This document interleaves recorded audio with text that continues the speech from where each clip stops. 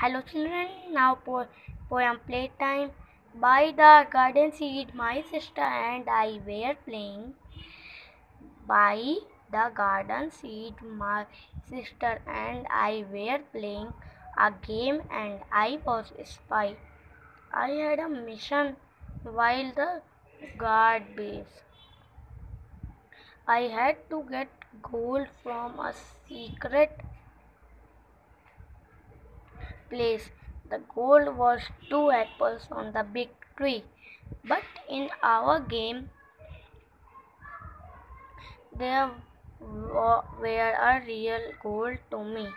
A giant was asleep in the way if I spoke him up, I I did not be sure to pay.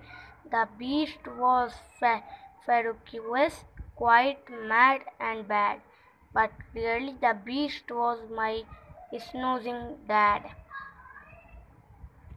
I creep, I creeped past the buses, twist like wire, and round the love was glowing warm like fire.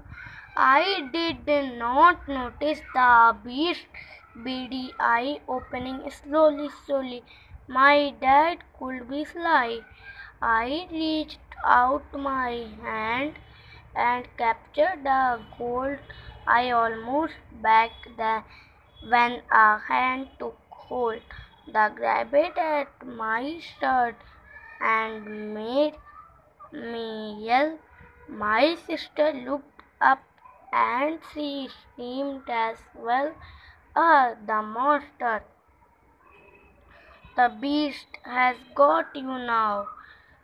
I had a space. I did not know how my sister flew in and started a flight.